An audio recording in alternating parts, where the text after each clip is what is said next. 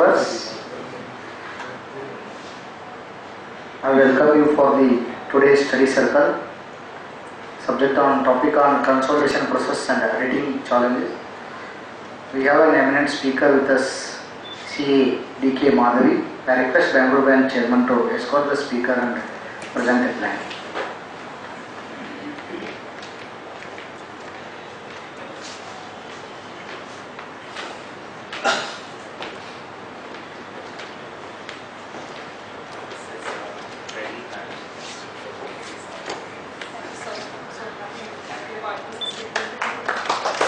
DK Madhavi is a chartered accountant and certified information systems auditor from the Institute of India. She is a director in the assurance service line of Lovelock and Lewes. She has a work experience of 14 years in audit and assurance services with diversified industry experience which includes information technology, manufacturing, retail, infrastructure and education services. Madhavi primarily works on sector audits under Indian GAAP and Ind AS tax audits of companies and Ind India's conversions reporting under the internal control, internal reporting frameworks such as IFRS for compliance with small to large scale of operations. She is an accredited trainer of the firm. She is currently associated with and actively delivers sessions on topics related to accounting and auditing, IFCFR and EDS. With this brief introduction, I present before you CADK Madhavi.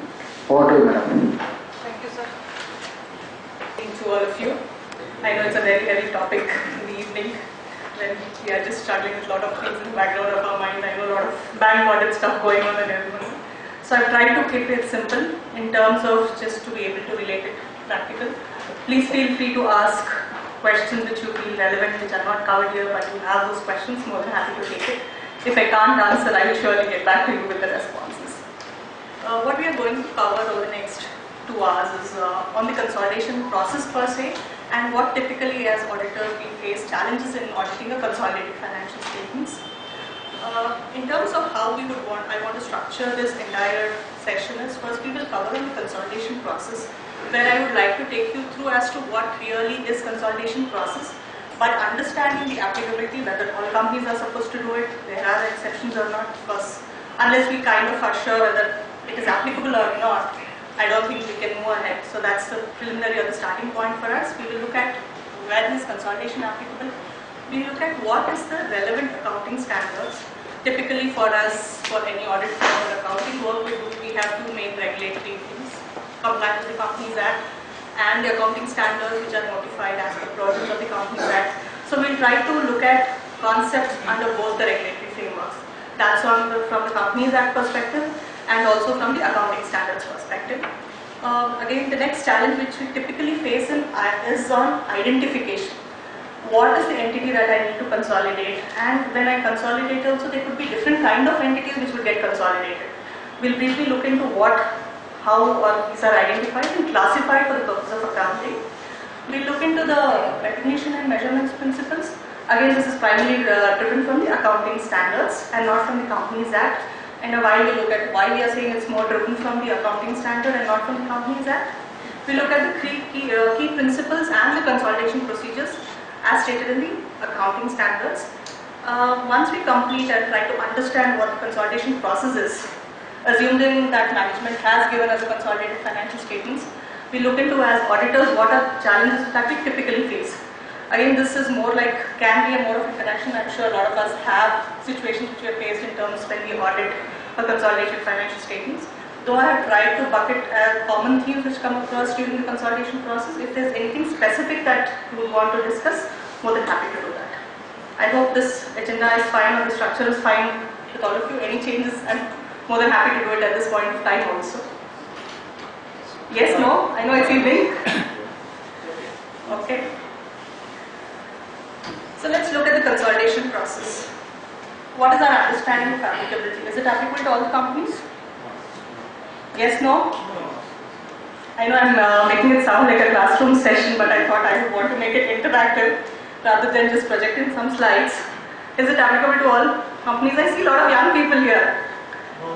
No? Okay. Any other different, uh, anyone says yes? It's applicable for all? I know the answers are on the slide. Understand what's written in slide?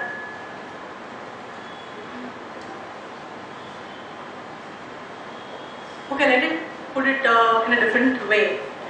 We all know Companies Act got amended in 2013. Was it different in the previous Companies Act? Yes. Was it different? What was different? A lot of things were changed in the Companies Act, but did anything change on consolidated? Okay. There was a change. Typically, there was not a requirement to consolidate or prepare consolidated financial statements for private companies. That's a significant change which has come when you compare to Companies Act 1956 and Companies Act 2013. So in terms of applicability, by default applicable to all listed companies, this is more coming from the listing agreement requirements rather than the provisions of the Companies Act. Because Companies Act 2013 uh, really doesn't differentiate whether it's a listed entity, private company, public company. There are certain other criteria given based on which you have to prepare or present, companies have to prepare or present consolidated financial statements. So if it is a listed entity, there are no exemptions available every listed entity has to present a consolidated financial statements. There is no exemption available one time or recurring, nothing that is available to any of the listed companies. In terms of companies other than listed, consolidated financial statements are required to be prepared and presented for all companies incorporated in India beginning financial year 1st April 2014 and this is driven by section 129. So section 129 clearly states that as long as a company has a subsidiary, a joint venture or associate, they need to prepare and present consolidated financial statements. Here it doesn't differentiate between a public company or a private company. It even doesn't differentiate between an enterprise or it could be a, a partnership firm in which a company has invested. It really doesn't differentiate. Every company which has any of these relationships in terms of investments. In a while, we'll look at how we will classify whether it's a subsidiary, joint venture, or an associate. We'll look into that, but it says you have to present consolidated financial statement. There was only one time exemption available, which might not be relevant now, but just for uh, academic interest. First year when Companies Act became applicable, exemption was given one time saying that if the company has foreign subsidiaries, then consolidated financial statement need not be presented. Having said that, it was only a one-time exemption. There is no other exemption available. Uh, post the first time exception, exemption which was notified in July 2016, Rule 6 for the accountant rules and uh, the Companies Act were notified where exemptions have been given for consolidation purpose. Please take a minute to read the exemptions which have been put up. Simple English, I will take you through what it really means when we are talking about an exemption.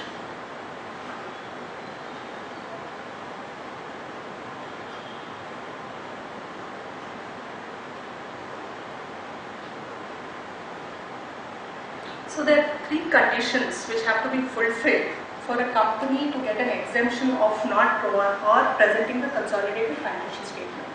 One, the company itself should not be in a, a listed entity because we said anyway SEBI has a mandate that all listed entities have to present. Whether it's a listed entity nor it should be in process of listing. Let's say a company is aware it is in a process of floating an IPO, then it cannot say that avail this exemption. And if the company itself is an intermediary of any holding company within India which is preparing a consolidated financial statements, then this entity will need not prepare a consolidated financial statements. Just to give you an example, let's say company A is in India, company B is a subsidiary of company A that's in India and company B has subsidiary of C, company C. So it's A, B and C. So typically going by the provisions of the Companies Act, assuming it's a 100% wholly owned subsidiary, company B would also have to prepare a consolidated financial statements consolidating operations of company C.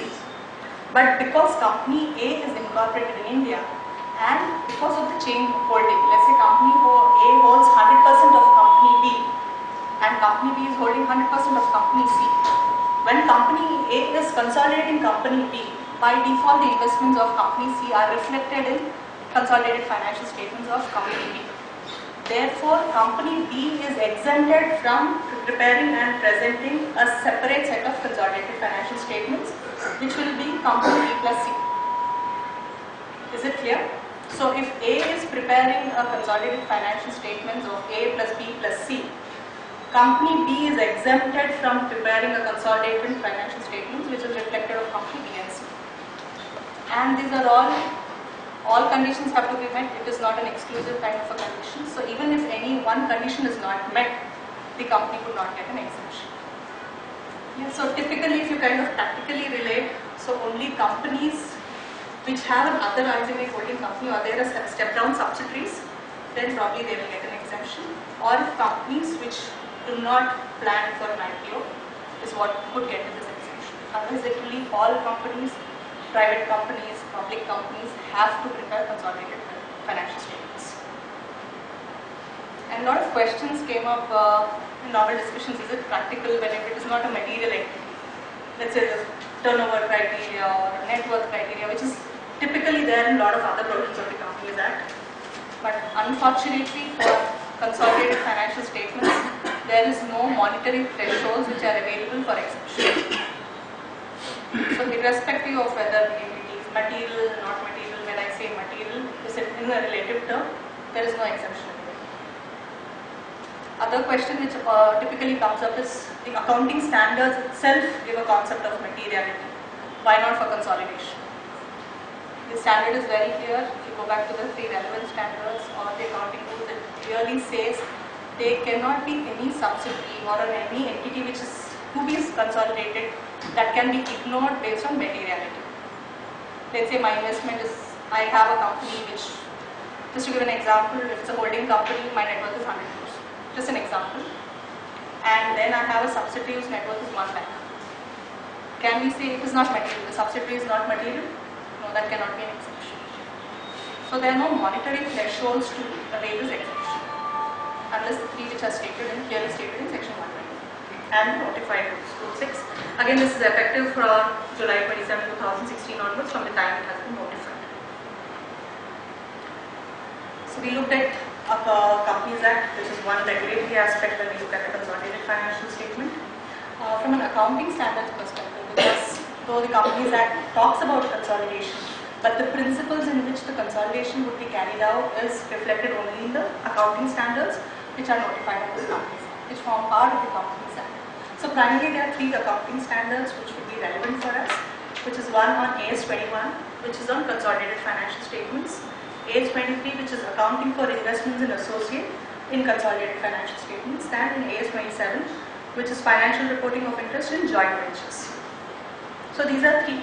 All accounting standards, other relevant uh, accounting standards would also be applicable, but when you look in relation to preparing and presenting consolidated financial statements, these three are critical accounting standards that we need to be aware of, or the principles for the purpose of accounting are laid down in these three standards.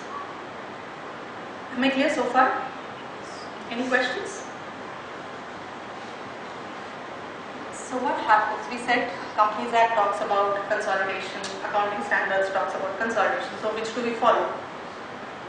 So Companies Act only talks about companies which have to consolidate. The principles laid down, how the consolidation has to happen is all driven from the accounting standards. So if you see the accounting standard as such, let's take an example of AS 21, it does not really give us the direction to say which are the enterprises which have to provide a kind of present the consolidated financial statements.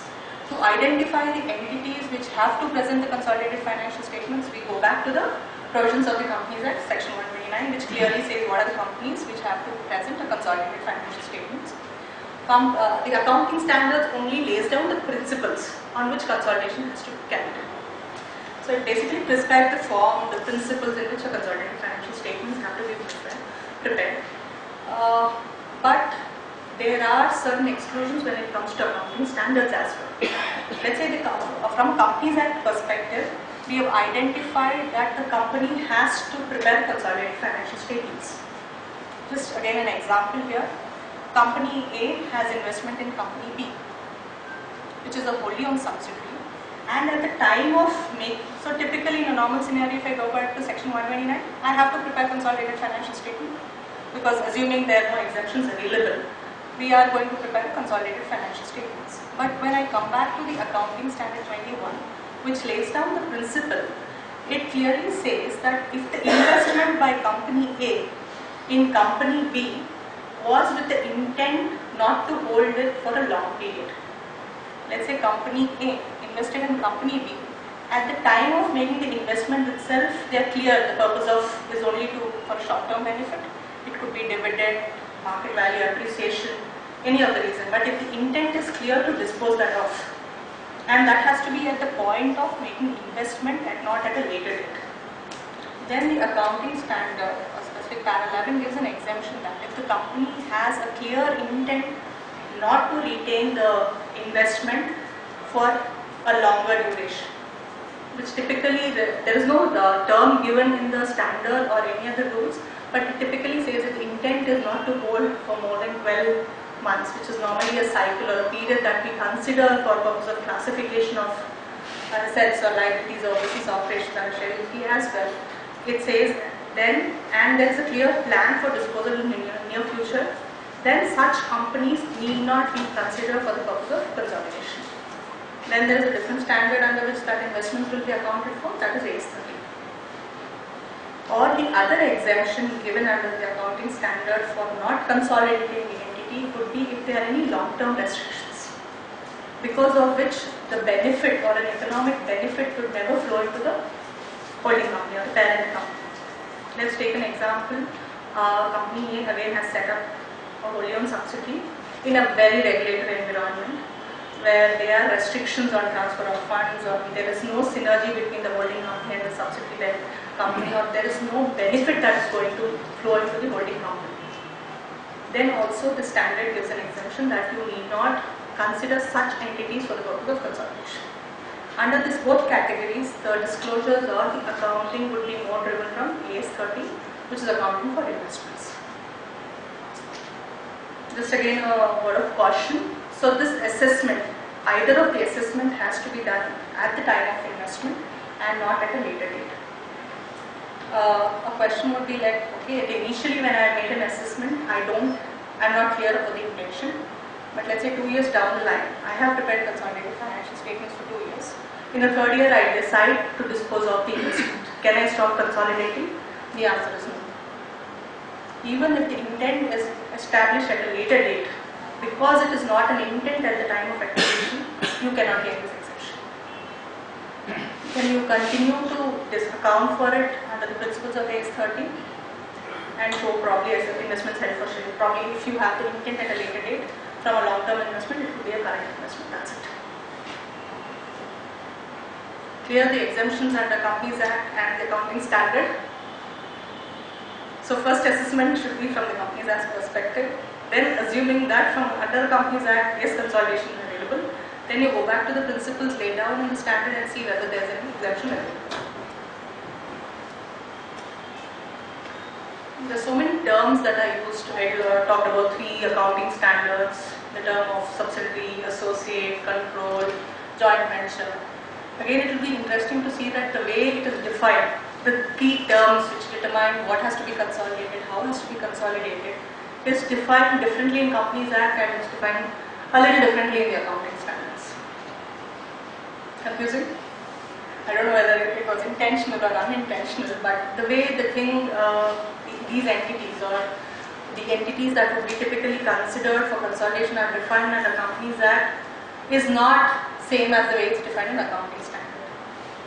We will go through the definition as to how these entities are defined under Companies Act. We will see how they are defined under accounting standard. We will try to highlight what the differences are and we'll also tell you how, which is one you have to factor. What is the one you have to ignore, what is the one you have to consider is also what we'll tell you.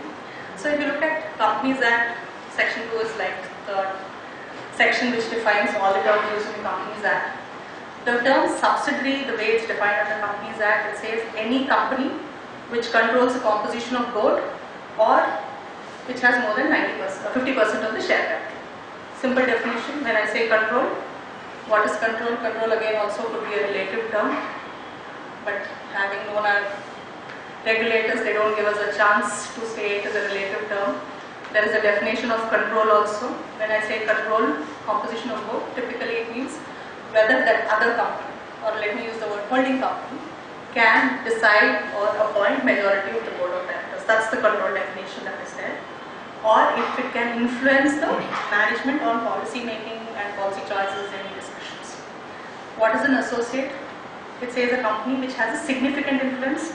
What is significant influence? Nowhere defined. So typically, if you read the definition, it says if the company is holding more than 25% of the share or can influence the business decisions, then it's called as an associate. So 25% is the threshold that is given, whereas for subsidiaries more than 50%, for an associate it is anything between 25% and 50%. These are the definitions given in the Companies Act. No interpretation, straight definition picked up the way they are there in some related sections. Moving on, if I look at the definitions as per the standards, which again lays down principles for consolidation, a little different. For subsidiary, it talks about not of the share capital, but it talks about the voting rights. It talks about voting rights of 50% or more. You can argue out now that the Companies Act really doesn't provide for differential voting rights, but there could be a situation in terms of when a company has different kind of share capital, different classes of share capital, then this could be a situation that we can relate to. Otherwise, it's a control of composition of board of directors, which is very similar to what is there in Companies Act.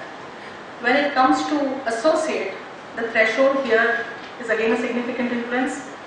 No definition of what significant influence is, but if you only look at the quantitative threshold, if I can use the term, as against 25% mentioned in the Companies Act, it is 20% which is mentioned in the accounting standard.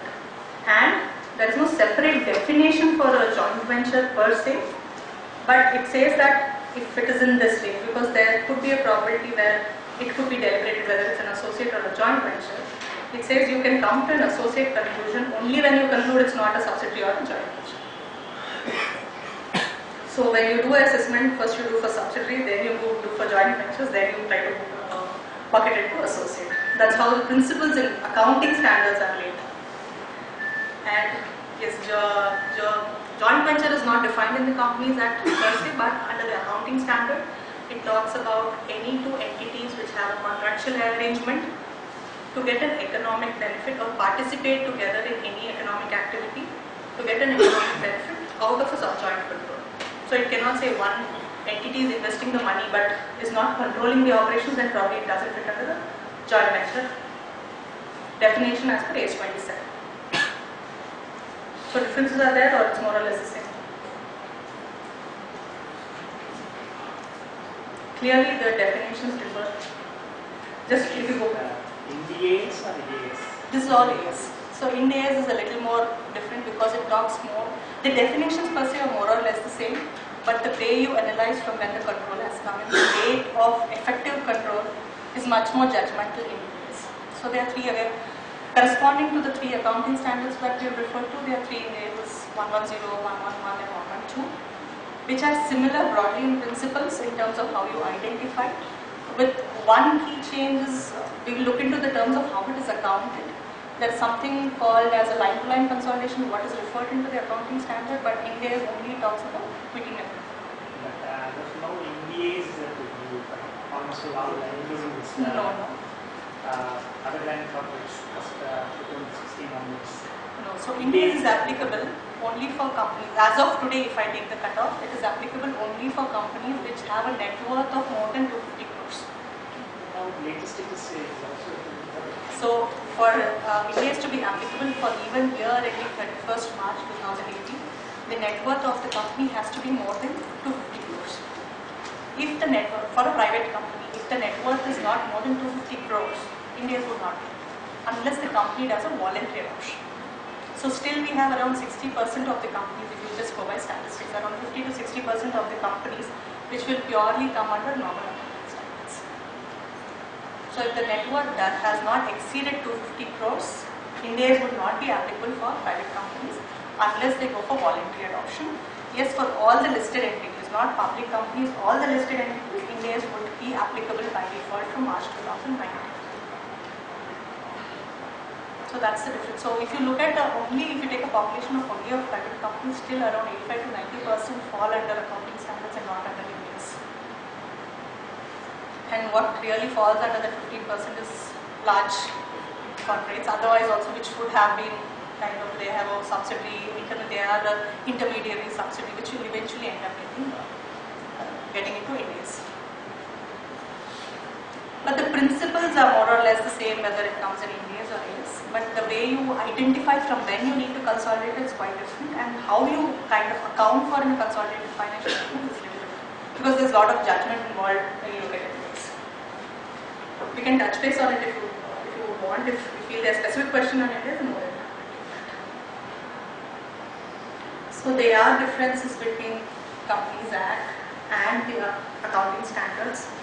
The first difference is on definition of control only, where Companies Act focuses more on the substance. It says whether the, they have the control over the management in terms of policy decisions, and it could be through any means. It could be a shareholders agreement, it could be any other business agreement, any of the things, any kind of arrangement, by whatever name you call, if the company exercises control over the operations of other entity, it comes under control definition as per Companies Act.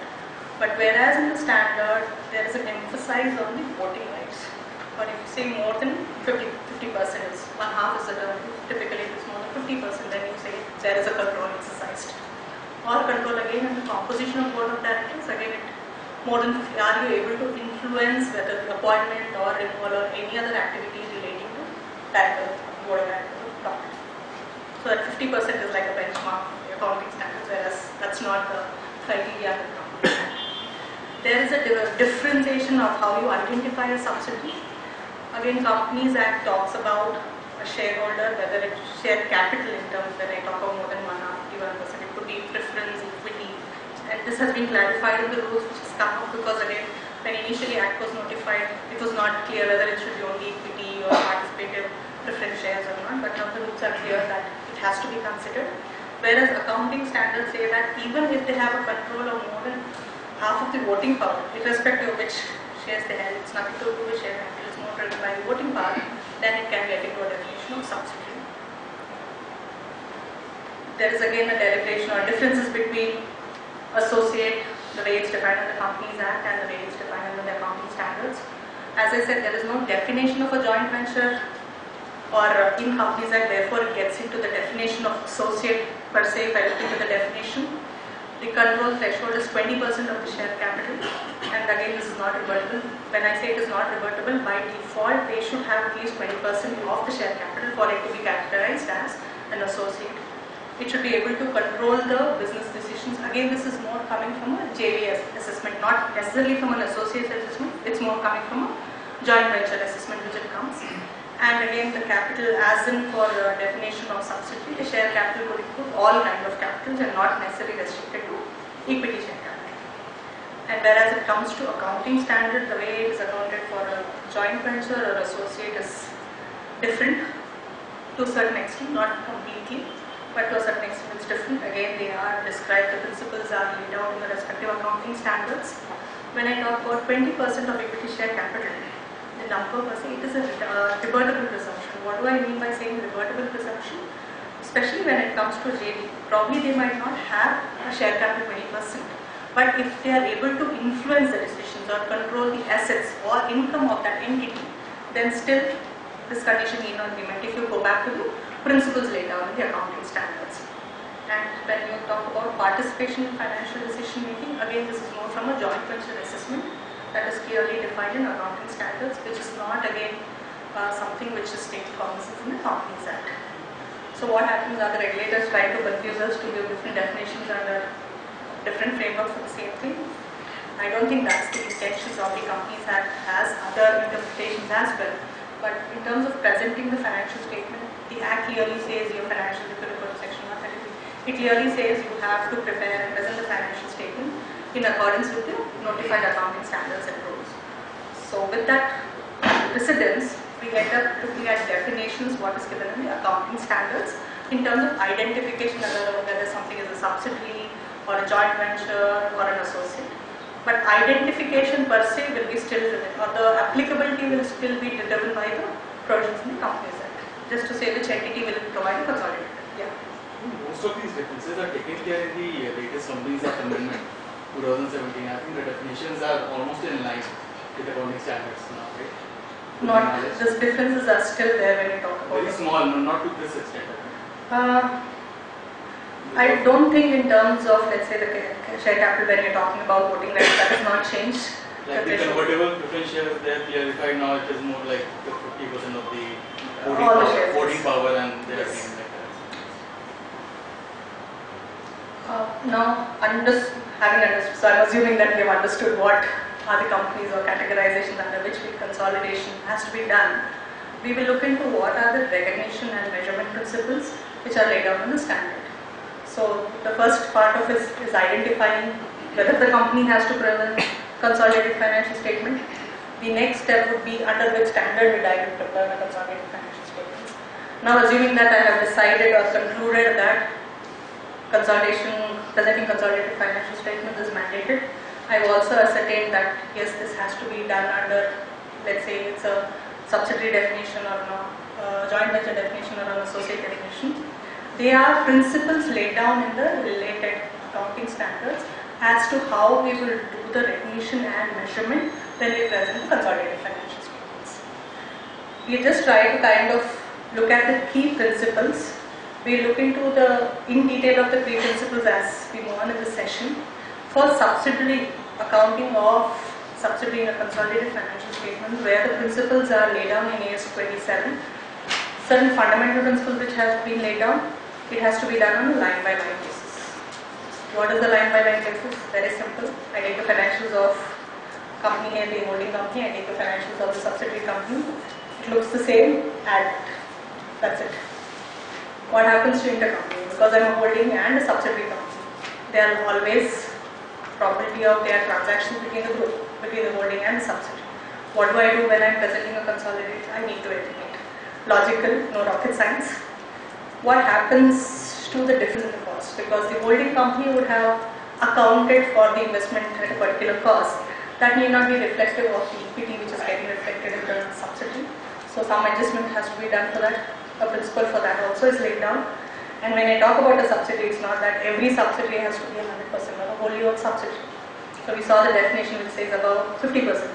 So even if I have 55%, it comes into the definition of subsidiary. So what I do with the 45% because I am the entity consolidating technically is not the owner of that stake. So what happens to that?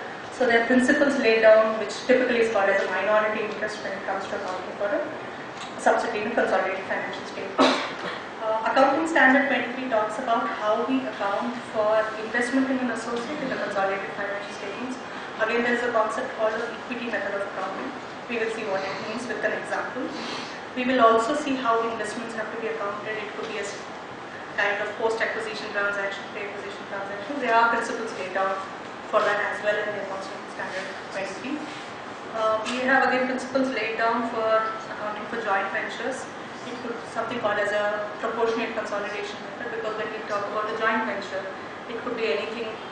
I may not have any share in equity, but I control the operations, I contribute in the decision making, I contribute in the assets. So in that case, how do I really reflect that in the consolidated financial statements? Uh, having said this, though there are three standards, if you see the principles or the three principles are broadly laid down in AS 21, which is preparation of consolidated financial statements and if you go back to AS23 or AS27, it starts by giving, uh, giving a reference to AS21 and says in addition to that, you need to do these two. So the main key principles are all there in AS21. So if you really want to understand the consolidation process, our focus should be on AS21.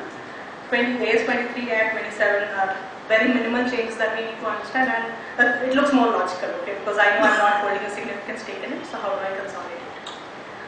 So what we'll do is we will try to focus on the key principles which are laid down in AS21. Any specific questions at this point of time, more than happy to take it or at a later point also. than that. Do I move? The first key principle is on accounting policies. What happens on accounting policies? The company has a choice. So let's say the argument that everyone has to follow, assuming all the companies are under in India governed by provisions of the Companies Act. To, uh, could there be a situation that there is no difference in the accounting policies? Possible? Possible? I see only one person saying possible. Any example that you want to state? No? Okay, a company can adopt depreciation either in the straight line method or WDV. Accounting standards don't stop. That doesn't mean when I'm preparing the consolidated financials, do I do a consolidation at the same level? Maybe that's not the right presentation. Instance of inventory valuation. Weighted average is an acceptable account method, measurement concept. Same way as a FIFO method which is allowed, right? But can I consolidate two line items which are different accounting policies? Doesn't serve the purpose. But do we have a choice? Will we re-audit something? So what the standard clearly lays out as a principle is when we prepare the consolidated financial statement, which is referred to as the financial statements of the group. So holding company, subsidiary, intermediate holding together are referred to as a group. As much as possible, the group has to follow same accounting policies. As much as possible, the group has to follow the same accounting policies is what the standard clearly says. But does it say that mandated you have to do that? Because again, I took an example.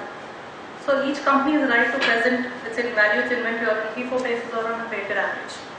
What do we do this in uh, situation? Is it practicable to out the uh, the accounts for the respective entity? No. So the accounting standard says that as a principle, try to make sure that the accounting policies are same. But if the accounting policies are not same, but at an individual entity level they are still appropriate, then disclose the fact in consolidated financial statements so that the user or the reader of the consolidated financial statements is able to relate to what the financial numbers mean. Right? If I do not understand how something is accounted for, maybe my understanding or conclusion of the financial number could be very different. So it says if you are doing that, yes, companies are allowed to prepare consolidated financial statements when each of the entity forming part of the group has different accounting policies. You have to disclose the fact in the consolidated financial statements. So just take an example. Let's take an example. We have a parent company, four subsidiaries. Three subsidiaries follow one or five subsidiaries. The holding and three of the subsidiaries follow FIFO method of accounting and two subsidiaries follow weighted average. Both are permissible under accounting standard 2. Nothing stops the respective entity to follow this kind of valuation. What do we do? I know the total inventory cost when I do a line-to-line consolidation. Inventory company A, B, C, D, E, I add up with 40 lakhs. But I know the aggregate value of D and E. Again, it's a judgment whether you want to take D and E or you want to classify A, B, C, D as one bucket is different, which is following a weighted average cost. In the financial statements or in the consolidated financial statement, what do we need to present as management or as an auditor? What do we need to make sure is the fact that different accounting policies have been followed by the different components which are considered in the CFS has to be disclosed. and also the quantification of the difference because of accounting policies has to be quantified. Let's say in this example I have 40 lakhs of inventory where 14 lakhs is under valued under a different method. So I say 35% of the inventory is valued on a weighted average whereas the balance is valued on a FIFO basis whether you want to put it 35 on a weighted and balance is on a FIFO, you can say 65% on a FIFO and balance is weighted average. That's the way, that's a decision that the company will make as to how they want to kind of put across a fact. But two facts have to come out in the consolidated financial statements. That is, there is a difference in the accounting policies and the quantification of the same. These are mandated. So this is the first key principle that we have. Uh, then we talk about the next, second principle is consolidation on a line by line basis. Is as simple as that. Do two companies of two financial statements look always the same? Maybe not. Let's say an example of disclosure in your operating expenses itself. The way one company defines professional charges, the way other company can call it consultancy charges. Right? When we say line by line consolidation, it doesn't mean the nomenclature of the disclosure in the financial statement, but the way transactions are recorded in that line financial statement line. So similar transactions or same transactions have to be consolidated on line by line basis. Typically one challenge that we face as auditors could be that when we are not auditing all the components or the group's management are very different right? It could be an inorganic growth where one subsidiary is being accounting in a particular fashion, the nomenclature is different. As an auditor who is certifying or giving comfort on the consolidated financial statements, I may have a uh, difficulty in the, okay, where do I consolidate this? Going back to the example that I've given, my subsidiary is disclosing legal and professional charges as consulting charges. No harm in that, it's still right, right? Whereas I am disclosing under legal and professional charges. And I don't have any other as a consol- consultancy charges. Where do I do it? Then it is a responsibility of the management and the auditor who is opining on the consolidated financial statements to identify what is the nature of transactions which are accounted in a particular line item. Please make sure when we are saying line by line, it is not the nomenclature, it is the nature of transactions that get recorded in a particular line item. Again, it might sound simple, but there are a lot of places where you have challenges. Balance sheet is relatively simple, but when it comes to P&L, the way because you have a liberty to disclose as long as you have taken care of the 3 mandated requirements, balance is what you may want to disclose. Classic example is for a subsidy, something is not material, everything is clubbed under miscellaneous expenses. But when you're preparing a consolidated financial statements, something which is clubbed in miscellaneous expenses could be a separate line of item. So you have to make sure that you kind of do a line by line consolidation based on the nature of transactions and not by the nomenclature. This is the second principle. Sounds very simple, but trust me, it's difficult at times, especially when you have multiple subsidiaries or multiple entities which are getting consolidated. Uh, the next key principle is to how do we eliminate? So when I'm calling it as a subsidiary, I'm sure I have investments made which are recorded in my financial statements, right? As a holding company, there's something which is recorded as investment in the holding company's financial statements, and that will get reflected either as an equity or preference whatever it is in the subsidiary. But when I'm doing a matching, and I again go back to say line by line matching, what happens to these two entities? Let's take an example. I have an investment, and uh, as a holding company, I record it at my cost. It need not be at par, right? I could have paid a premium and purchased it. But books I'm showing a cost of investments as 100, whereas the par value, which is recorded as an equity in the books of the subsidiary, could be 10. What happens to the difference? That's the goodwill that arises on consolidation. It could be vice versa also. I bought it in the market and the price was really low.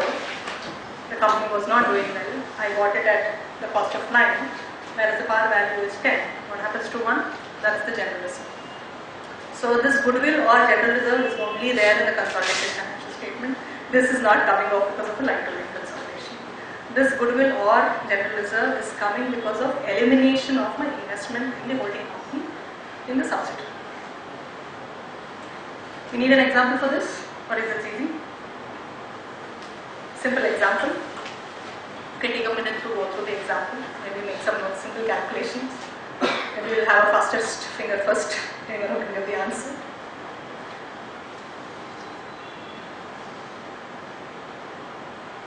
It's the principle of how goodwill or capital reserve is computed here. Only then you can solve this. You can have a fastest finger first for this. So have a situation where investment is made in multiple tranches. but the concept remains the same. Only that I have the company has made investment on two different dates. So how do I really determine the goodwill or capital reserve? I don't know whether it's a goodwill or capital reserve in this case. Any guesses? Do I take it at the reporting date and do a computation or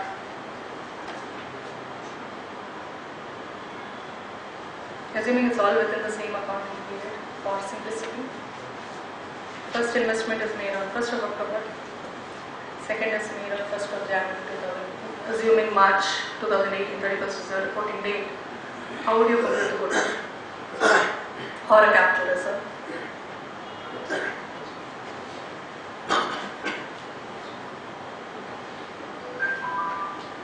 You think the accounting standard will tell anything differently when it comes to a multiple tranches? Companies keep investing, right? Probably they want to try first, it could be an associate, then I say, okay, it's doing well, I'll invest more, I'm getting more return. So there's always a decision making where there is a likelihood that I'm not going to invest at one point of time, but at multiple points of times. But where I prepare the consolidated financial statement is at one point of time. Thank God it's at only at one point of time, not multiple times. So how do you think, or what would be the goodwill, or, or I don't know whether it will be a capital reserve in this case? When you add up both ignoring the capital and in. Okay. At the fourth and we take the net the? Net End, end, end it, yeah. end result. Yeah. Okay. Any different thoughts? So we have one member who's saying just take it as one transaction and move it because we are anyway preparing one consolidated financial statement. Do you think uh, history would have been kept, things so simple? Good, at least someone is believe, believing that things are made simple. But sorry, that's not the right approach. If that's not the right approach, there's only one alternative approach. What could that be? Sorry? Little louder.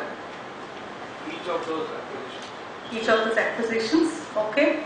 Only on reporting data. Sorry. Only on reporting date we see what is. Only on reporting date, then that thing makes sim- uh, things very simple, right? But our profession is to make things complicated. So it's uh, not as simple as that. So goodwill or capital reserve has to be ascertained at each time when the investment is being made.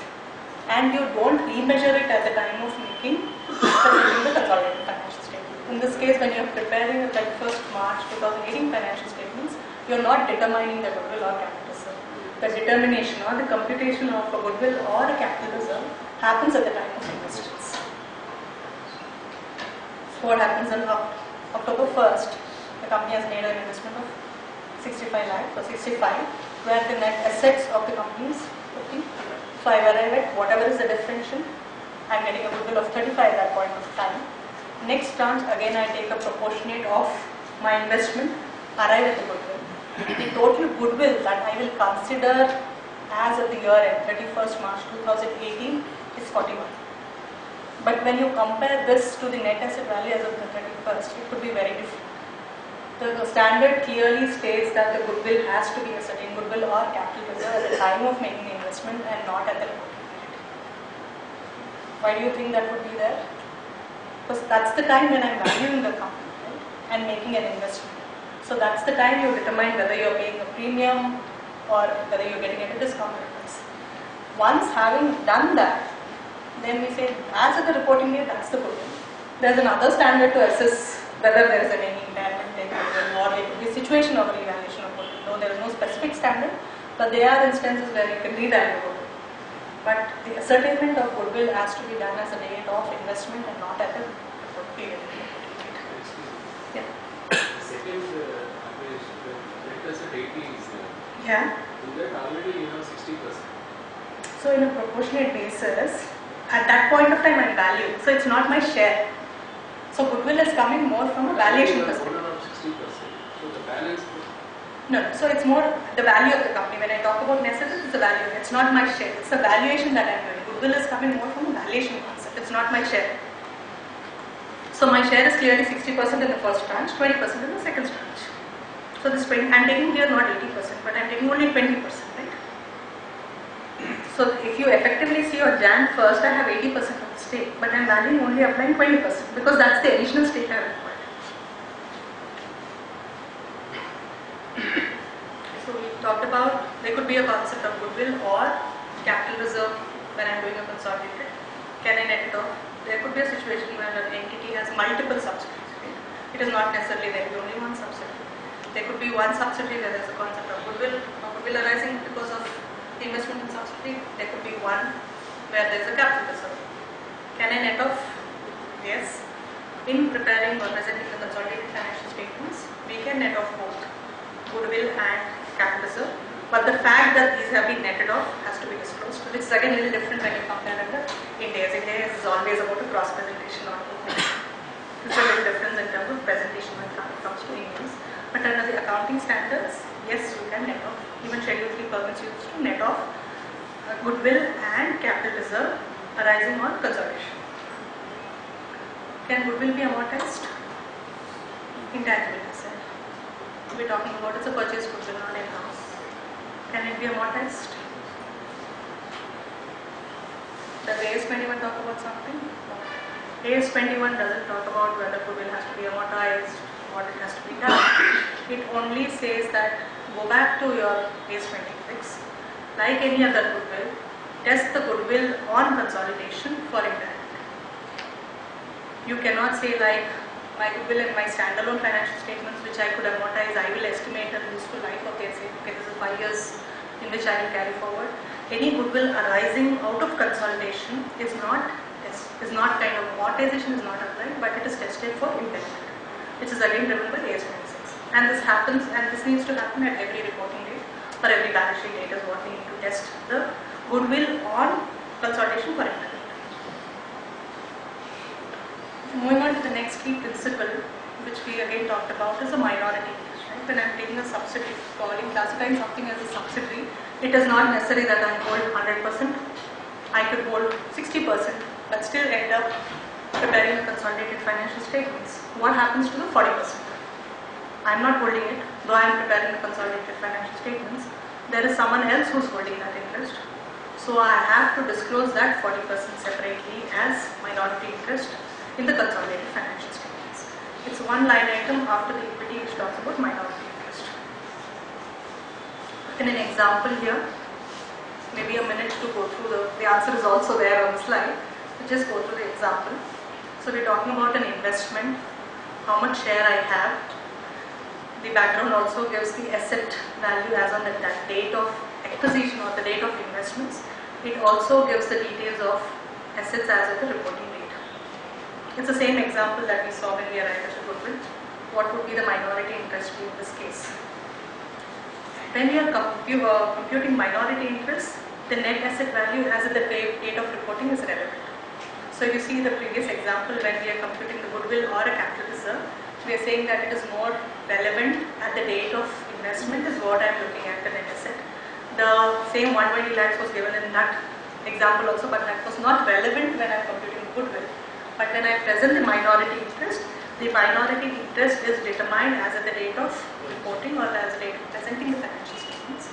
Therefore, in this case, the net asset is, we know the total investment held by the entity or the parent entity is 80%, so minority is 20%. So I take the net asset value of 120 as the reporting date, and 20% of that is, which is 24, is what I disclose as the minority interest under the equity of consolidated statement. Simple, only so only difference is when I'm computing goodwill, it is at the date of investment, goodwill or capital reserve.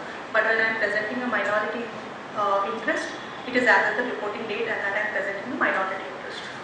Logical because I'm telling what is the stake of the minority interest in the consolidated financial statement as on that reporting date. Any transactions during the year are reflected in your operations or profit for the year or loss for the year, which gets reflected in your reserves.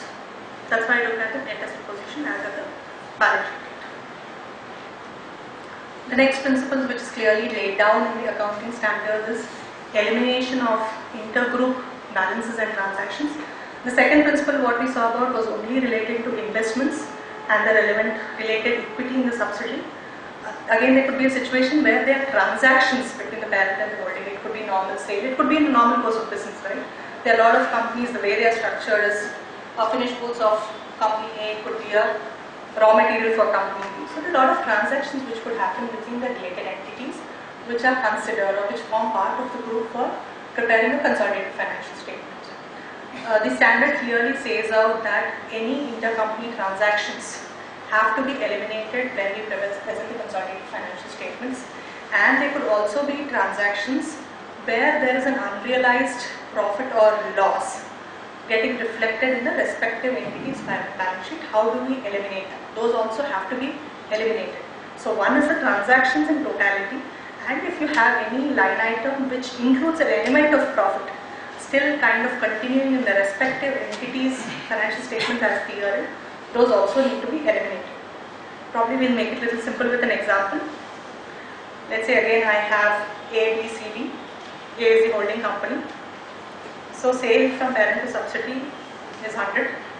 The parent is uh, selling to third parties also 700. So the total sales in the consolidated, uh, in the standalone financials of the parent is let's say 800. Just hypothetical. And I'm looking at a subsidiary account also. Subsidiary has sold to parent for a value of 400 and subsidiary also has sold to third parties for a value of 100. So my sale of the parent company is 800. Sales in the as reflected in the standalone financials of the subsidiary is 500.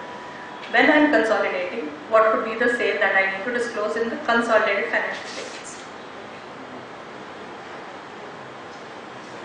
Any guess? Simple logic, eliminating the company transactions. Yeah? 800 is the right answer, though there's no price for this. So we are looking at only sales to third parties.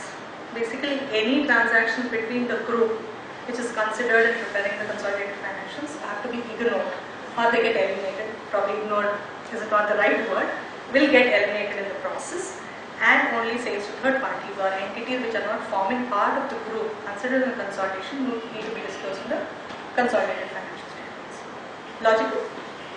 Yes. I sell the goods on the, the parent company sells the goods on the last day of the financial year Yes. and the subsidiary doesn't account. We have an example for that. So that's the concept when we talk about unrealized profit or loss on transactions. For sure, irrespective of whether this company has sold or not, let's say the sale has happened. So I have to do the elimination and the transaction element. This happens. So there is an element of unrealized profit or gain also which I need to account for. We have an example for that. Probably we'll go through the example. If you still have questions, you can comment. So again, as uh, pointed out, what happens if the parent has sold the subsidiary as a year end, but the subsidiary is not being able to sell it immediately, right? There could be a time gap always between transactions. The purpose of has not been able to utilize that. So that is uh, sitting in the cost, inventory cost of the subsidiary. And whenever a parent is billing to the subsidiary, it is need not necessarily be at a cost to cost basis. There are TP regulations available, so I'm sure no company wants to get into those regulations. So there is a margin which is included. How do we eliminate that? And this transactions could happen over a downstream or an upstream. What is downstream? Parent selling to subsidiary. What is upstream? Subsidiary selling to parent. So in case of a downstream, when the parent is selling to the subsidiary, entire unrealized profit. We will see what is unrealized profit. Same example that I given, sir. I, parent has sold, but the subsidiary has not been able to sell it. It's looking at the inventory closing stock. How do we eliminate the profit element? Fully has to be eliminated. In case of an upstream, let's say the subsidiary has sold to the parent. Again, we talked about a minority interest right? So only to the extent of uh, minority interest portion is what gets adjusted. Again, it's logical because anyway it's a purchase cost which is sitting in my books. Only minority interest is something which they are not bothered about the consolidated financial statements. Their profit is relevant, right? Because it's still a third party sale for me. So I will retain that. Maybe with an example, little simpler. Let's say this is again a downstream work, the example that you're mentioning. The parent has inventory cost of 100, let's say, and they have sale, sold the same to subsidiary at 120. And the stock is sitting in the subsidiary's book. So when I look at the balance sheet, the transactions during the year in books of parent, I am showing a sale of 120 with the cost. Cost of sales is 100. So there is a 20 profit sitting in the parent company book. When I'm looking at the subsidiary company book, I have a purchase cost of 120 and closing stock assuming there are no other value I am looking at a closing stock of 120. What should be the sale in the consolidated financial statement? What could be the purchase or cost of sales in the consolidated financial statement? And what would be the closing stock? Any guess? No sale. There is no sale. Someone said no sale this side. Yes, that's right, no sale because again we are going back to elimination of intercompany transactions. What happens to purchases? Same concept, intercompany transactions, no purchase, purchase has to be eliminated. So sale in parent company will get adjusted against purchase in subsidiary 120, 120 gets knocked off. Again COGS will get netted off 100, 100. What happens to the closing stock? 100, you eliminate the profit. I know 20 is the profit, you eliminate the profit. Because the stock is still there, right? Somewhere in the group, the stock at the cost of 100 is still there. So you recognize a closing stock of 100 rupees. Now comes the main challenge of upstream. What happens to the unrealized profit? In this example, let's look at a parent is not a wholly owned subsidiary, 75% is a subsidiary. Continuing the same example, but the cost of inventory what the subsidiaries has 100, but the selling price what the parent accounted for or a sale in the parent company is 140. So when consolidated financial statement, no sale or purchase because both are getting eliminated. Simple, this is clear. Both have to get eliminated, but there is a profit of 40 which will be there. Uh, Closing stock also we know it is uh, there. 100 I have the stock in my books, that's the cost for group as a whole. But there is a minority interest of 25%. For the minority interest, the profit is relevant. As a group, for you, it might not be relevant. But for the minority interest, the profit is still relevant. So what I do, fee share, that is 75%, of 40 is a profit, I know. 75% of the profit is what I make in adjustment. I reduce it from share. And in case of minority interest, they hold 25% of it. When I'm disclosing the minority interest, I show 10, include, assuming whatever minority interest they so that I add 10 and show that as a profit of 50. So 10 is what I will not exclude.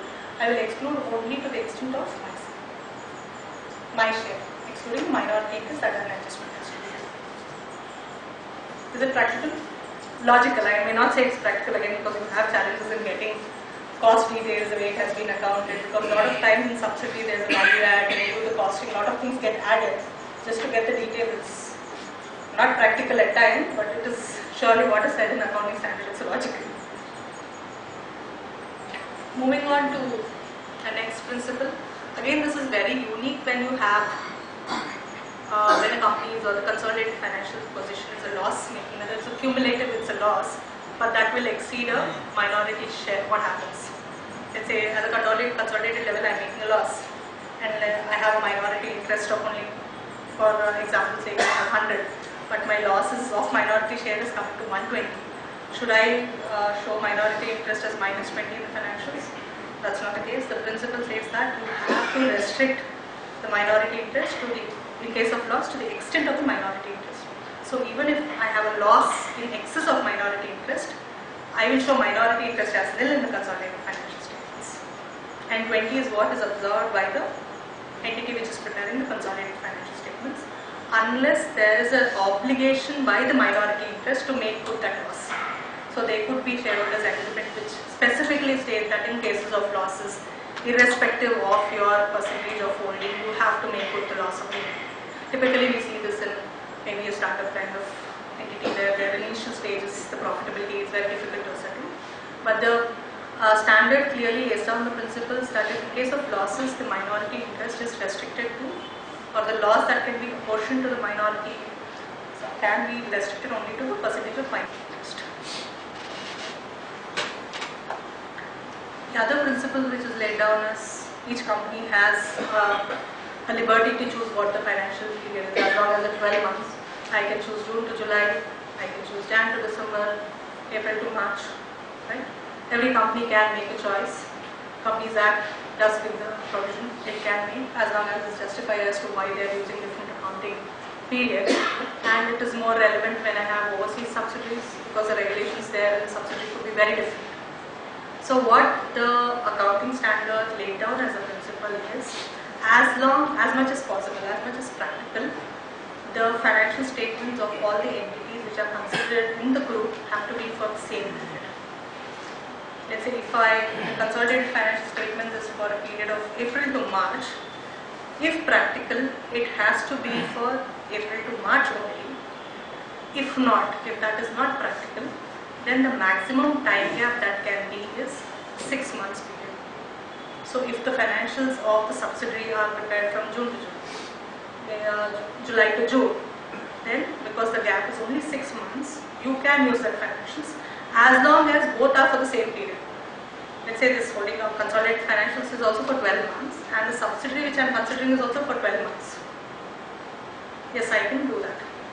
But I need to adjust for any significant events that are there during this period. Again, this is a practical solution given because uh, it is saying that it is for the same period, the operations are reflective of same period. And if you have one-off transactions which are not regular, which have happened in this intervening period, make an adjustment for that. But you need not insist on the financial statements for the same period. It's in the same terms. But the period covered in the financial statements has to be same. So if I'm consolidating a 12-month financials, it has to be for another company 12 months. Let's say if a subsidiary is a year of incorporation, it has a provision to prepare financial statements for 15 month period or a 13 month period because it has under the provisions of Companies Act I can take a longer period to prepare the first financial statement. Let's say I'm assuming preparing for 15 month financial statement. Can we say then say I will consolidate the holding company's 12 months uh, financial statements with a 15 months financial statement? The answer is no. So you have to have a fit for consolidation financial statements in this case where the transactions of 12 months are different. It need not necessarily be again a financial statement which is again filed with the ROC because we are looking at only for fit for consolidation.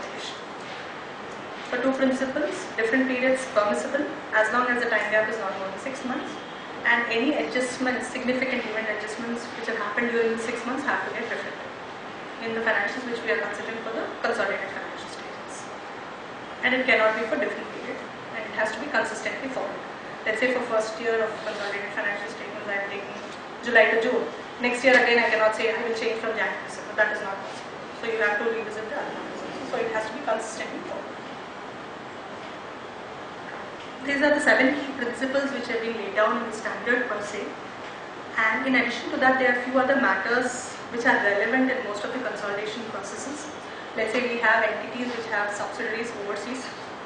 It could be different GAAP, different gas under which the reporting is prepared. What happens when I do the consolidate? Let's say the holding company is in India, but the subsidiary, let's say, is in Singapore. It is following a different GAAP. The reporting currency is very different. What do I do when I prepare a consolidated financial statements? Neither do AS 21, which is relevant to consolidated financial statements, nor AS 11, which is again relevant to effects of foreign transactions or foreign exchange fluctuation, doesn't specifically address this. But there are certain international standards which lay out what are the principles to be considered when you are consolidating subsidiary, overseas subsidiaries or associate or joint ventures. Again, these are very similar to what is laid down in AS 11, though there is no specific guidance in AS uh, 21 or 11 for consolidation. But the general accepted principles across the world are very similar to what we do under AS 11. So if there is any foreign subsidiary which is integral or my businesses are very similar, then I follow AS 11 principles for an integral branch. The way I would apply uh, the exchange fluctuations or the conversion rate for an integral, integral branch operation is the same as what I do for a subsidiary. If it is a non-integral branch, again integral branch is what is defined in the standard, whether it's the same business, I'm getting synergy, six conditions which are given in the standard. So we identify whether it's an integral operations or not and we apply the same principles if it's an integral branch, if it is very similar to integral branch. If it is not that situation, if it is a non-integral it cannot be bucketed into a kind of integral branch operations, then you translate all assets and liabilities at a balance sheet date and PLL, uh, PNL balances at the transaction date or you take an average rate. This is again not in the standard but is, this is generally accepted. There are a lot of EAC opinions also which support this translation. Uh, there's one more question which typically comes that uh, the holding company or the entity has than 51%, but the other voters in the pool or shareholders are not active. Can we, I still go ahead and do a consolidation? The answer is no, because simple, it is not meeting the definition as prescribed in AS 27. So it's not necessarily on the participation, you can say they are passive, they are not exercising any rights, but clear cut, it says no, it need not be done. And this is also addressed in an FAQ which is issued by the institute, which clearly says such entities, though you are claiming that because the other act, other shareholders are not active, can I go ahead and do that? It's clear. What happens, let's say I, there could be a situation where the investment in subsidiary is done in mid of the accounting period. In the first year, what do I do? Do I take, reflect the transactions for the entire period? Again, the answer is no. The reflection or consolidation is for a period when the entity has got control in terms of whether or it has made an investment to qualify a subsidy. From that period is what we consolidate or reflect the transaction in the consolidated financial statement. It's not for the year by default. It is from the date when it should history. Again, as an auditor who is kind of certifying or opining on the consolidated financial statements, it's a judgment that that person, an auditor has to be whether they will insist on a special purpose financial statements which are fit for consolidation for that period or they will take the audited financial statements and do the elimination of transactions. It's a judgment that again a concept of materiality is what you can apply but not for deciding whether you're consolidated or not. What is the source that you will consider for consolidation? Uh, the, again, the question typically comes, and this is very relevant when the company has in kind of control on trust. Typically companies have employee benefit trust which they set up where the control eventually is with the company, right? You have representative from the company, employees who are on the, who are trustees. Say PF trust or gratuity trust which typically companies set up. Because the company is literally controlling them, would it mean that such kind of trust will get consolidated?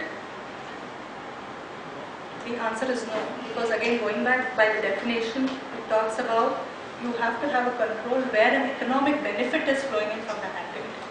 So in case of this trust or gratuity trust, the employees are holding the position of the trustees more for administration or facilitation purpose. There is no economic benefit that the company is getting out of this trust, right? It is for the welfare of the employees. It is more an administrative mechanism. Therefore, the standard clearly says that if there is no economic benefit flowing in to the company, though it has exercised control over it, such entities will not be considered for purpose of consolidation. This is again specifically stated. There were instances in the past where companies have gone ahead and consolidated, let's say trusts or gratuity funds, whatever they have been administrated employee related trust, but they were not supposed to do it and I'm sure regulators have pointed out. So if you look at the FRRB uh, observation also one of this clearly states that as long as there is, you can establish that there is no economic benefit for you, you need not consolidate. Again, because the trigger in the definition is economic benefit has to flow. In this case, there is no economic benefit that is flowing in, you need not consolidate. Though I exercise a control. A few other matters quickly that we can touch base is what is the format of a consolidated financial statement? Is there a specific format prescribed? There is no specific format prescribed as such, but the Act says that follow Schedule 3, which you would follow for presenting a standalone financial statements and include notes which are relevant when, when a user or a reader of financial statements is trying to understand what the consolidated financial statements mean. Let's say I'm talking about CIF value of imports. It is not going to add any value when someone is looking at a consolidated financial statements. Nothing stops you from doing that, but it is not mandated. So the standard clearly says, and even Schedule 3 clearly says when you are preparing a consolidated financial statement, give the notes which are relevant for the user to understand whatever is the information given in the consolidated. Again, there is no mandated list of what has to come. So it's a judgment that you make. In addition to the format, there are certain key disclosures which are required under the standard. One is which talks about when you're not consolidating the subsidiary. So if you go back the first five, six slides, he said under AS 21 also, para 11 talks about certain exemptions where you're not going to, you need not consolidate. That's basically intent on which you're holding or there is no benefit. So if there are any such subsidiaries in the group which you're not consolidated for the purpose, which are not considered for the purpose of consolidation, that fact has to come out. The fact that there are uniform accounting policies have to come out and if it is not the case, the fact that there are no uniform accounting policies and the quantification has to be mandatorily disclosed in the consolidated financial statements. It has to disclose the list of all the subsidiaries, the names, the countries in which they are incorporated, the shareholding, all the details which will enable the user of the financial statements to know what is the extent of investments has to be disclosed in the financial statements. And if we have any subsidiaries which we have concluded where there are different reporting periods but within the acceptable range. If we give, took an example of six months gap is what which is generally permitted. If you have considered financial statement of such subsidiaries, that has to come in the consolidated financial statements. And these disclosures are not driven by Companies Act, these are driven by AS 27, which clearly gives a list of disclosures which are mandated in consolidated financial statements. Too heavy so far? Moving on to the other two standards, which is on AS 23 and 27. This will be lighter if the previous session was heavier because as I said in the beginning, AS 23 and 27 clearly state that the key principles what are there in AS 27 will continue. So whether it could be in terms of what are the entities which have to be eliminated, how do you account for intercompany transactions, the financial year which you are considering for the purpose of consolidating, the uniformity accounting policies, they will continue. Except for because my percentage of which I hold in terms of a group is not as much as it would be in the subsidiary, there is a little modification which I do in terms of uh, presentation. So the difference will not be in terms of principles for accounting, in terms of recognition and measurement. In addition to what is there in AS21, we have some add-ons in AS23 and 27. So when we talk about an associate, we in AS21 we talk about a line-to-line consolidation, making an adjustment for minority interest. When it comes for an associate, it is an equity method which is called. It's a- just a fancy jargon of calling it as an equity method. No different from how we made an adjustment for investment in minority shares. So we said this is my net asset base as of the reporting date. This is the minority interest. So I'm accounting for that, showing disclosing that as a separate interest. In this case, I will not do a line-to-line consolidation, but I, only I will show the so-called, it would have been a minority interest in some other entity. That part I will show as an investment, as an adjustment to my investment. So this is how it will uh, appear in terms of when we're talking about an investment in an associate. You have the original cost as is reflected in the standalone financial statement of the parent. So the entity which is uh, preparing the consolidated financial statements. At that point of time, I've also ascertained the goodwill because I know there is a difference between the cost that I have recorded and the net asset value as at the date of acquisition. I will have a profit of the share of the associate because I hold let's say 25%. 25% is my profit. I must have received a dividend. It is more like an intercompany transaction. So I believe that and the balance is what I show as a net investment. So all the adjustments in the consolidated financial statements when it comes to consolidated of an associate comes in disclosure of the long-term investments. Any reason why we are saying long-term investments? Because my intention is not to sell. Right? That's the condition for which I am saying a key principle which is laid down in AS 91. That's why by default it's typically under long-term investments unless you have an event which is triggered as to why you will classify in short-term investments. Though you classify in short-term investments, the presentation would be same. So you're making an adjustment for goodwill and also for your profit share.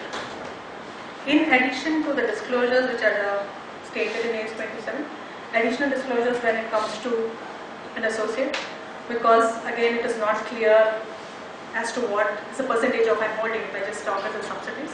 You give your proportionate, is it an associate because of the shareholding or is it because of a composition? You will also have to disclose what is the goodwill that is arising out of uh, adjustment of associate.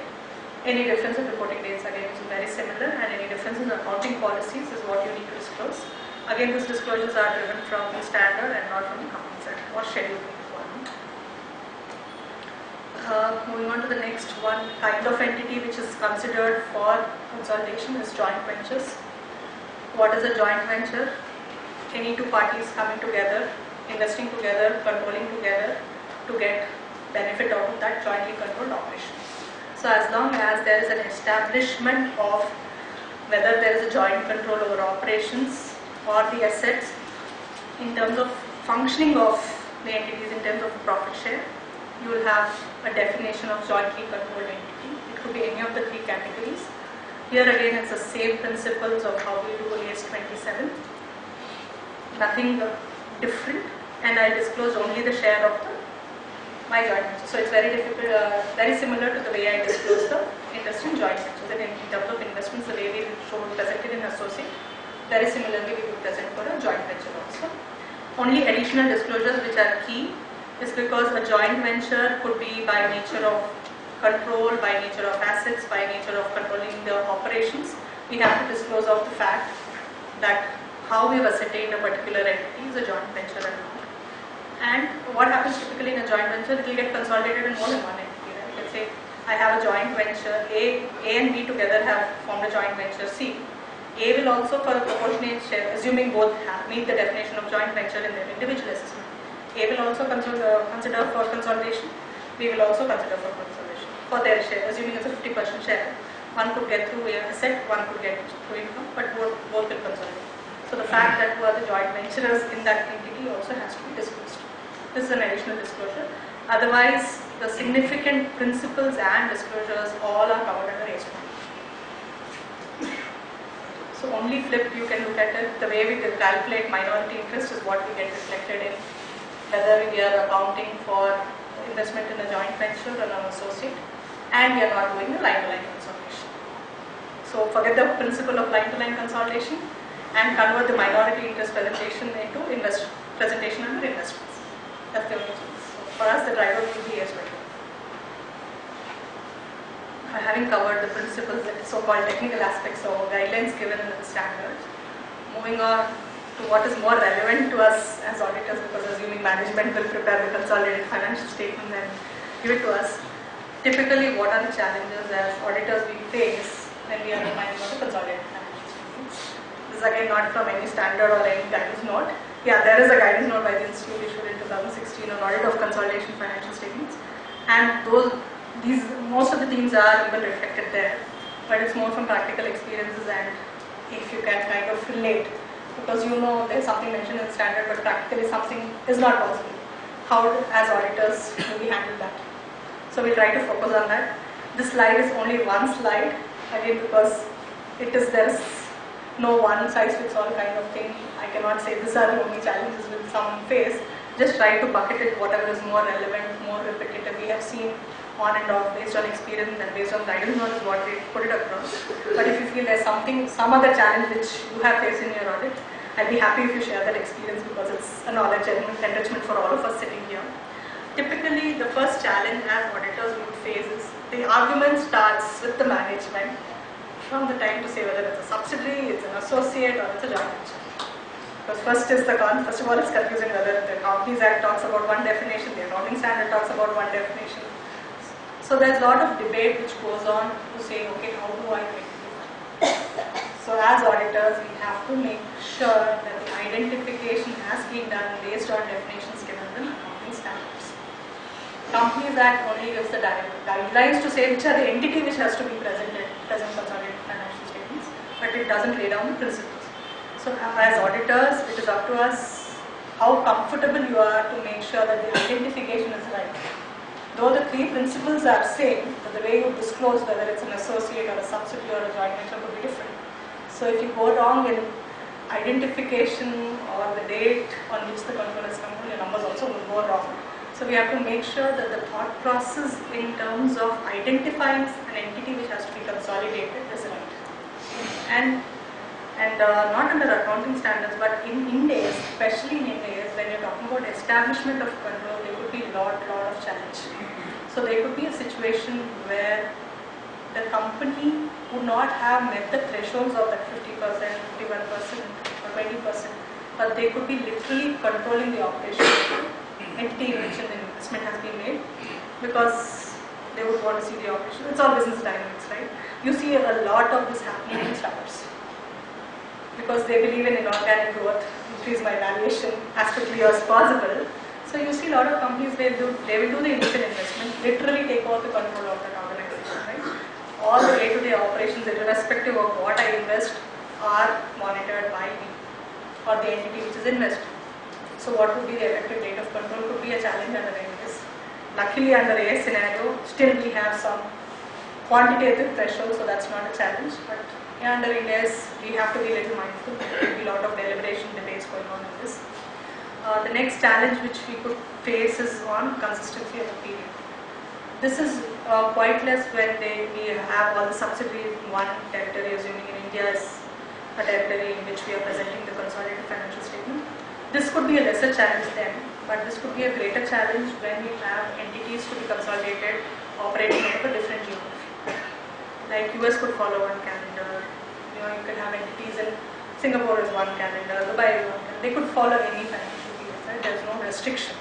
Neither they are, not many geographies in the world, actually kind of territories in the world, specify or mandate a.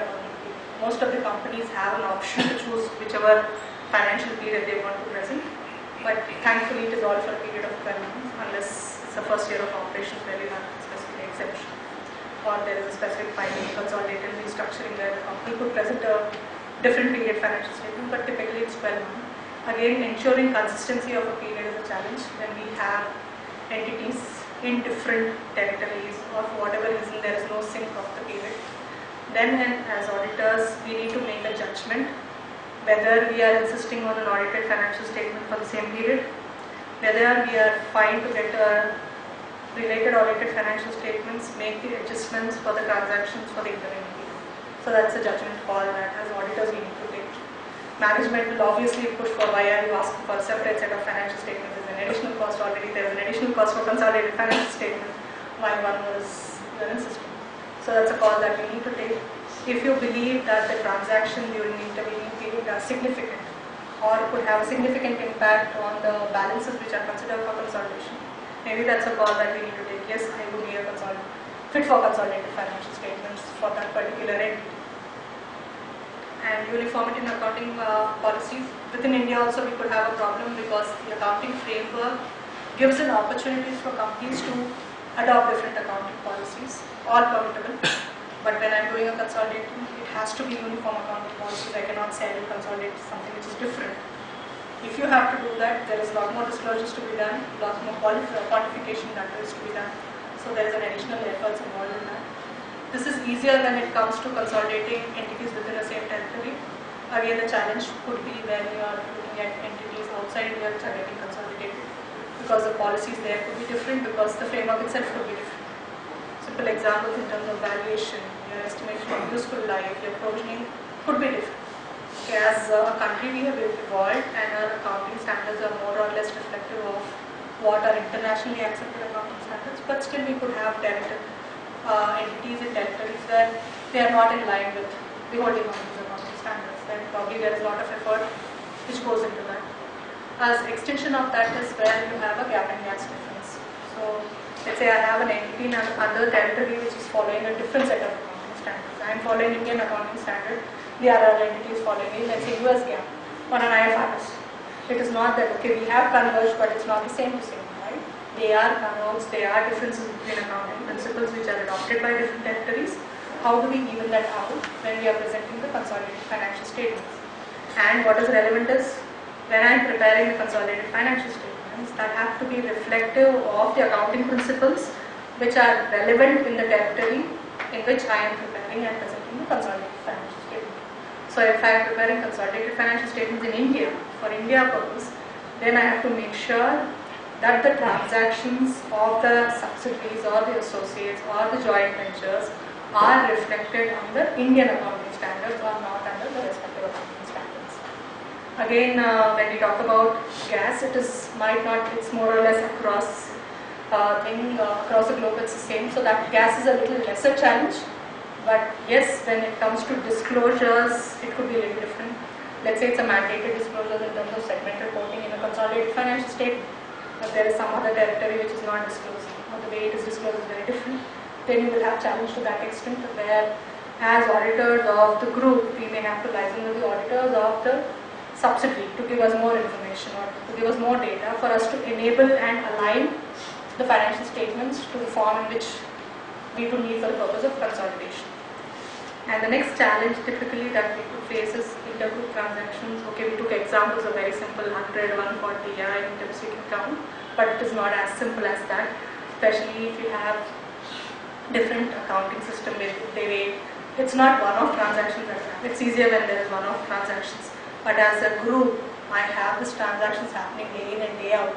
And the way I account is very different in each of the entity. Then this is going to be a challenge in terms of how you identify the intergroup transactions. And what is the profit element sitting, what is unsold. Let's say simple example of inventory. We kind of looked at an example where parent is selling to the subsidiary. It is not that subsidiary is only buying from the parent. It could be a same product which is being bought from different entities. Does the subsidiary's record support to identify out of the unsold stock what is the stock which they have purchased from parent? So it is very important that the systems at the relevant entity or the respective entity also support with this kind of information. Again, you might that again also might not be that simple because the parent could have sold at different prices also. It is not that the standard price is what I'm going to sell to you throughout. Could be there could be price changes. How will you identify that? And again, it's so much driven by the accounting policy which is adopted by the subsidiary also. I might be saying, I might be thinking it's a FIFO basis, but all you know they might be accounting for a weighted average. Then I have to do an adjustment for alignment of the policy, identify from the closing stock what is the stock which the parent has sold, what was the profit in the parent's book, what is the unsold stock in the subsidiary's book, and then do an elimination. Especially in this thing, there are a lot of data points or information that you would typically require from the entities which are getting consolidated.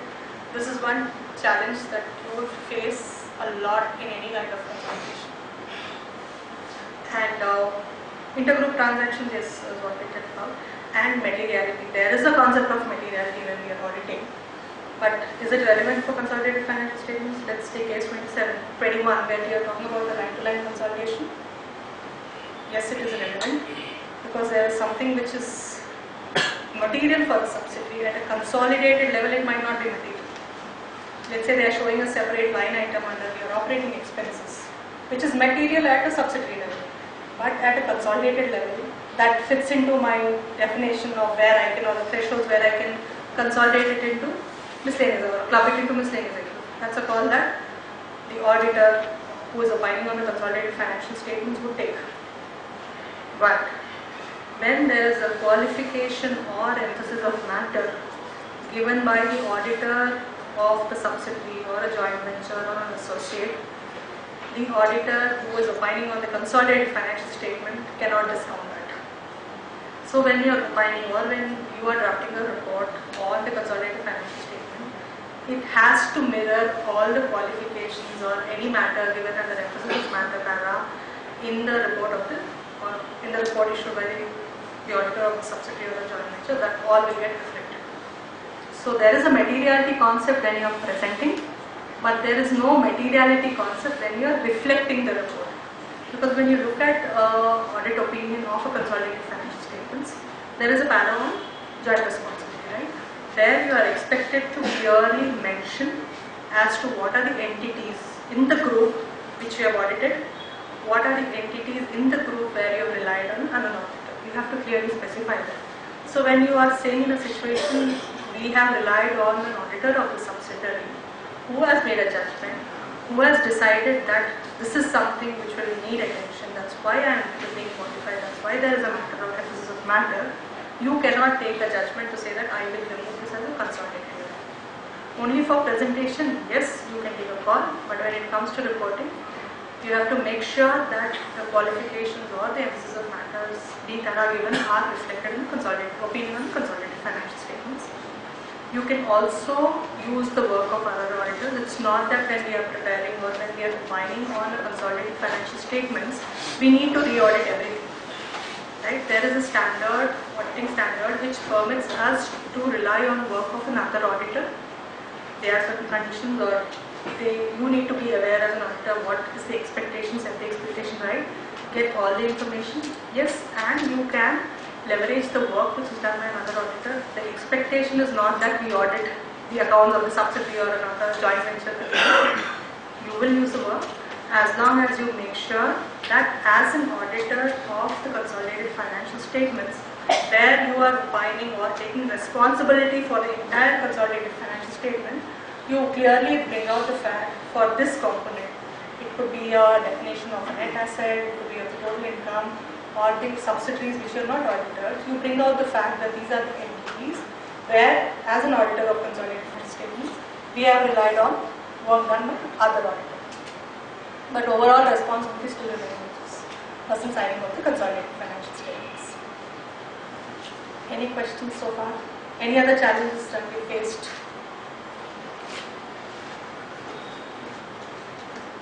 This is what, yeah. The joint venture gets closed in the middle of the year. So the consolidation is required at the end of the year. So when you're look, uh, looking at a consolidated, so if I understand your question right, I have an investment which I have diluted during the period, right? So I, uh, obviously when the period when I'm preparing the consolidated financial statement, that entity ceases, that investment ceases to exist. So only the portion for which I was holding the investment, that element, let's say I'm holding the investment for six months, the profit of six months is what I show in the operations for consolidated financial statement. But I am not doing the line by line consolidation as at the reporting end. Because it gets accounted as a nominal dilution which has happened. You have diluted the stake, you no longer have the investment. So there is no elimination of the profit.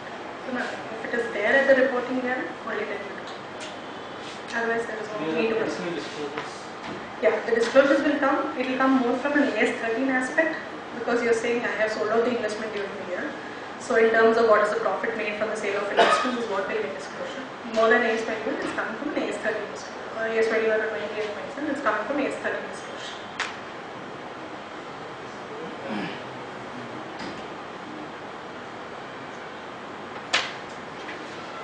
Any other questions for topics that we've covered so far, whatever concept, key concepts which we're trying to cover, or any practical experience which you feel would be more beneficial to the interest of you all that you would want to share? Investment happens over a period of time in a year. At the same time, you have to calculate the acquisition profit or post acquisition. Yes. Uh, how will you arrive those the acquisition profit? Because we will not be doing profit at every. Correct. So again, that's a call. That's very valid. Again, when we talked about investment happening in tranches, right? So tell us a little bit.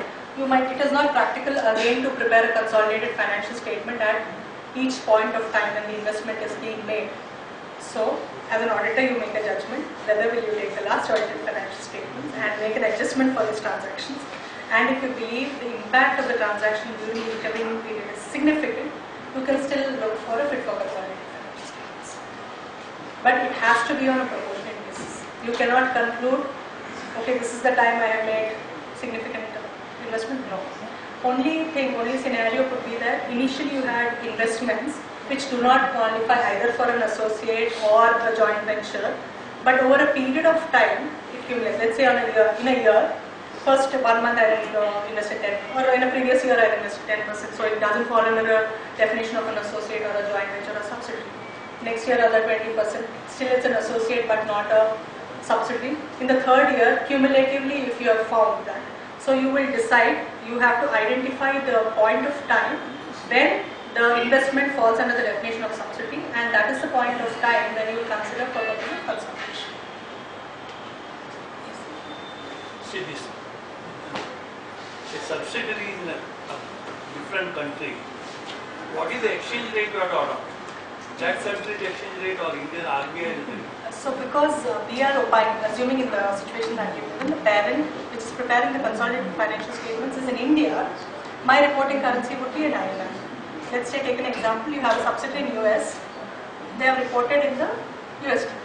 When I am converting, I am taking, it is non-integral. As you you remember, I had mentioned that there is no specific guidance on what is the exchange rate you will apply, but the generally accepted principle is you are going to reflect in INR using the rates which you would have otherwise used to reflect the foreign currency transactions.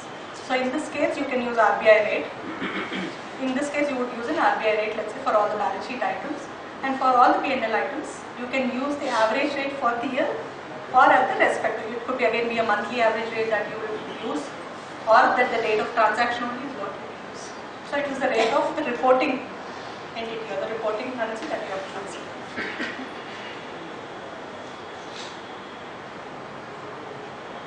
If you consider the holding by one company, the other company, twenty percent or less than twenty percent, still consolidation is required. Sorry sir, I didn't get your question. you consider the holding by one company, the other company holds only twenty percent or less than twenty percent, the consolidation of accounts is required. So first if we are talking about a 20%, it is not necessarily by one entity. So even if you have a step down, let's say I have company A, which has investments in company B and C, and B and C individually have investment in company B, right? Through a step down, I still have that, let's say 50% is for subsidy, 51%. If I achieve that 50% even through step down, I would need to consolidate. So instead of company B and C, which are intermediately, they consolidating, as an exemption which is available, if company A is able to consolidate, considering the entire chain, I need to consolidate company But nothing stops from company B and C also to consolidate, but there is an exemption which is available.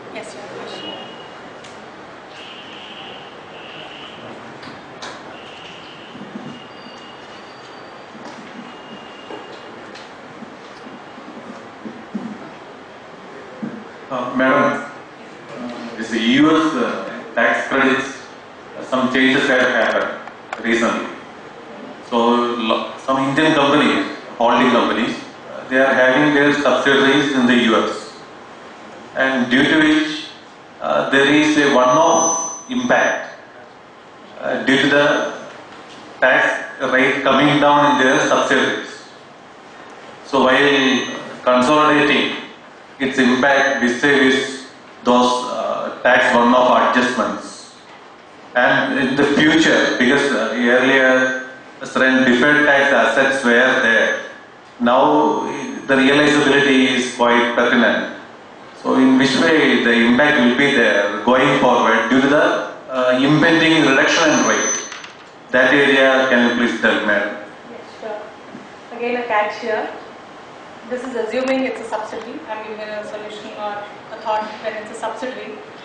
So AS 21, if you look at the principles, it clearly says that when you are doing a consolidation, line by line consolidation, when the line item is related to tax or a deferred tax, current tax or deferred tax, you are not going to reassess considering the operational profit of the consolidated financial statements of the group.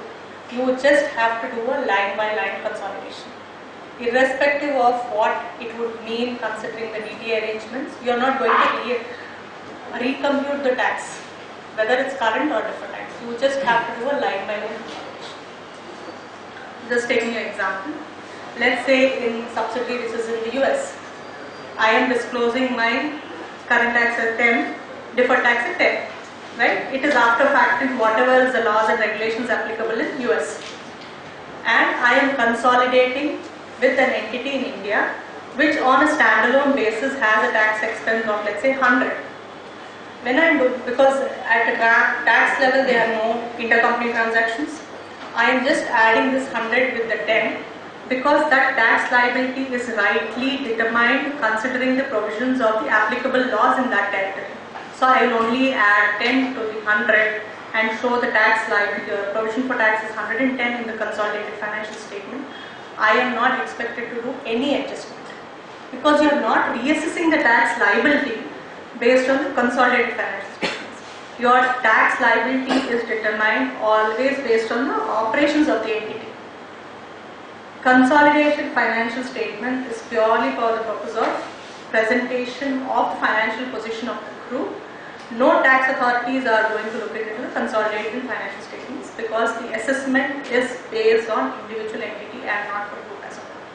So there is no adjustment which will come from tax.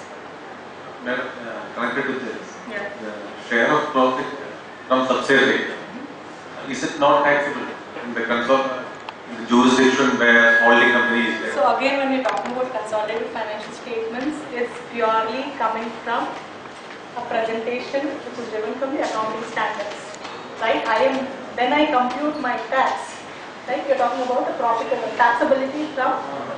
I am not looking at the consolidated financial statements. I always look at my standalone of the respective entities when I prepare the tax calculation, right? Your consolidated financial statements has no relevance when you're determining the tax rate. There is no relevance.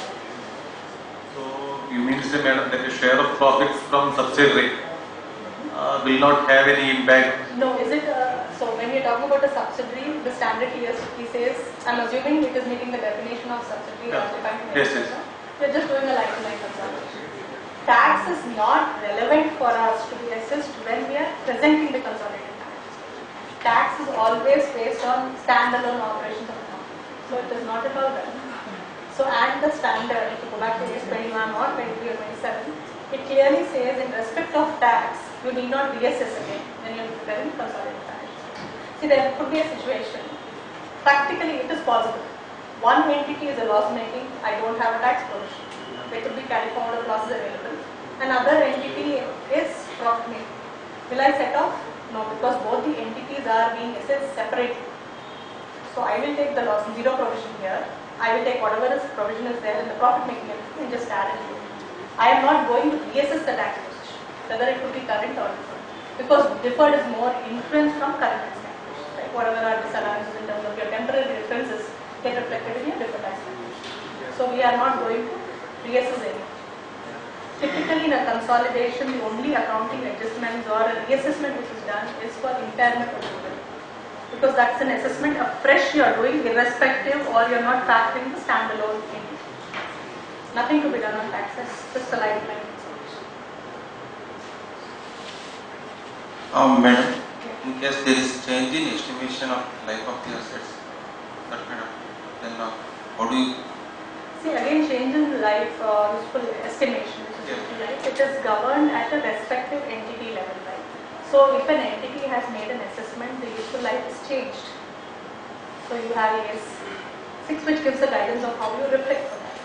As long as we talked about only policy constraints. If the policy, let's say WDV, WDV both, but there could be a situation where let's say building is um, useful life in one entity is considered as 10 years, in other entities 8 years, it's still fine. It is different in the useful life but not the policy. So there is no alignment need to be done. You cannot say something at the entity is considering as 10 years but the group will be 8 years. You cannot, that cannot be the situation. Estimation of useful life. Difference in useful life is not difference in policy. It's a difference in estimate. So no adjustment required in the consolidated financials. Any other questions? Happy to take it or we can wind up the session.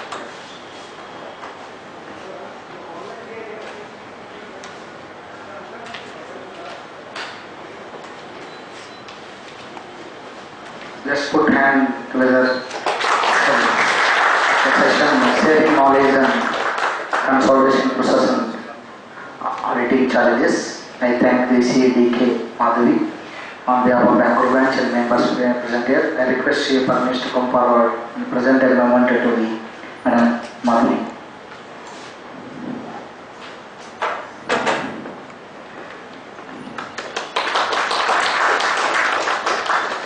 I thank all the members for their active participation. Thank you once